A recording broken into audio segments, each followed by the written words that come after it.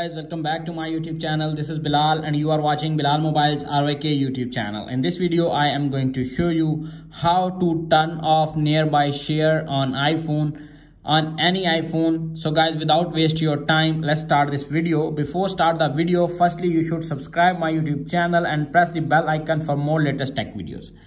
Tap on the settings app. Little bit scroll up to find general and tap on it you can see appears on screen many options. Tap on the second bar and the first option is airdrop. Tap on it.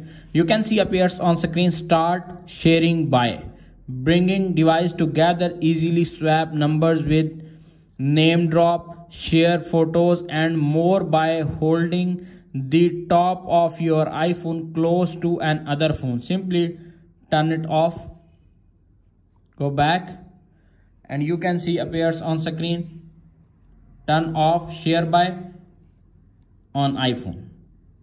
That's it. After watching this video i hope you will all know how to turn off nearby share on iphone 15 15 plus 15 pro and 15 pro max and all ios 17 devices. If video is helpful for you please don't forget to share and subscribe my youtube channel and press the bell icon for more latest tech videos. Thanks for watching.